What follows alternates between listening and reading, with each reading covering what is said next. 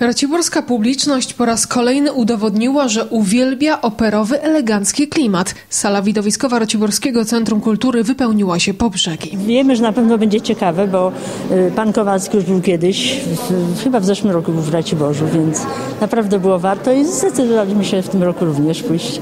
A taka muzyka, taki styl operowy, operetkowy, lubiany? Lubiany jest na pewno. Można posiedzieć, posłuchać troszeczkę, nie? Się sprężyć. Myślę, że będzie fajnie. A pan towarzyszy paniom po prostu. Proszę Panią, akurat my się znamy z innej imprezy w Raciborzu. Chodzimy już, jesteśmy starymi pielgrzymami. A tu żeśmy się spotkali, żeby po prostu posłuchać e, pięknych melodii w wykonaniu świetnych aktorów i, pio, i, i, i, nie piosenkarzy. No właśnie. Nie lada gratka dla wszystkich miłośników muzyki klasycznej. W Raciborskim Centrum Kultury zabrzmiały przeboje operowe, operetkowe i musicalowe. Na scenie pojawili się artyści polskiej opery kameralnej. Przy fortepianie zasiadła Ewa Szpakowska, a wieczór poprowadził i sam również dał popis swoich niezwykłych wokalnych umiejętności Kazimierz Kowalski. Publiczności znany jest głównie dzięki programom telewizyjnym, a także audycjom radiowym, w których przedstawia sylwetki wybitnych polskich artystów, często już dziś zapomnianych. данных. Przede wszystkim bardzo się cieszymy, że kolejny raz możemy mm, występować w tym fantastycznym teatrze, bo to jest teatr, to nie jest Dom Kultury, w tej pięknej sali, choć przed remontem ta sala też miała swój klimat. Jeśli chodzi o nasz repertuar, to wiadomo, że zawsze będziemy promować w naszych koncertach muzykę polską w pierwszej części i to musi być Stanisław Moniuszki, tak chętnie dzisiaj zapominany w polskich teatrach operowych, bo przypomnę, że w Teatrze Wielkim w Łodzi e, nie ma żadnego dzieła e, Stanisława Moniuszki. Nie ma ani Halki, ani Strasznego Dworu.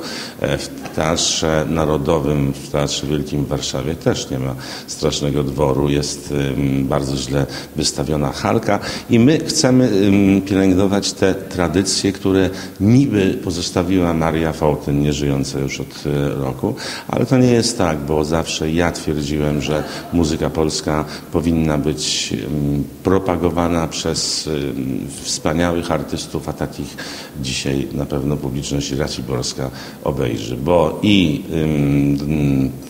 wybitny polski baryton Andrzej Niemierowicz i Małgorzata Kulińska i e, Małgorzata Kustosik, która również e, odnosi sukcesy nie tylko na scenie operowej, ale również i na musicalowej i oczywiście najważniejszą rzeczą to jest publiczność, a publiczność Racibórz ma najpiękniejszą na świecie.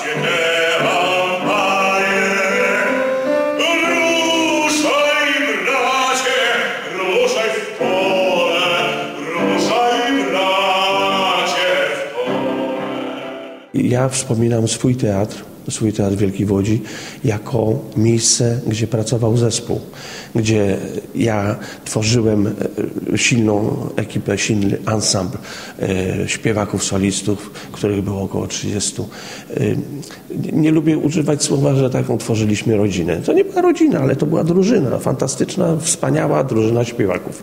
Zresztą, proszę pani, żeby w ogóle cokolwiek zrobić, pr- praca w operze, praca w teatrze polega na pracy zespołu. To nie to, że jeden solista tworzy spektakl. Spektakl tworzą, y, y, tworzy zespół.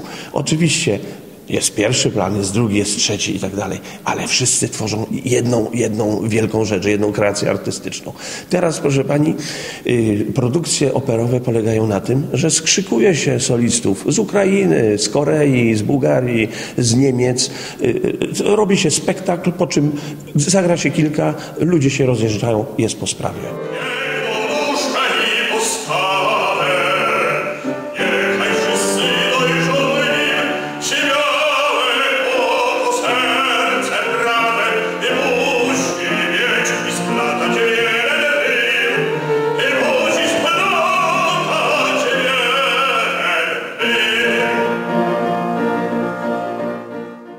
Za co kocha się operę, operetkę?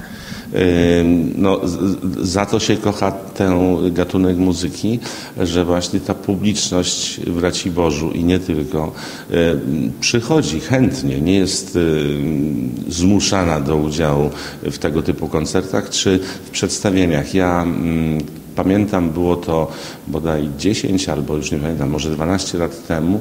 Przyrzekłem byłemu prezydentowi, fantastycznemu panu e, prezydentowi Janowi Osuchowskiemu, że wystawimy w Raciborzu jeszcze w tej starej, e, tak zwanej starej, pięknej przecież sali przed remontem, że wystawimy straszny dwór. Nie udało się, ale myślę, że się w końcu uda.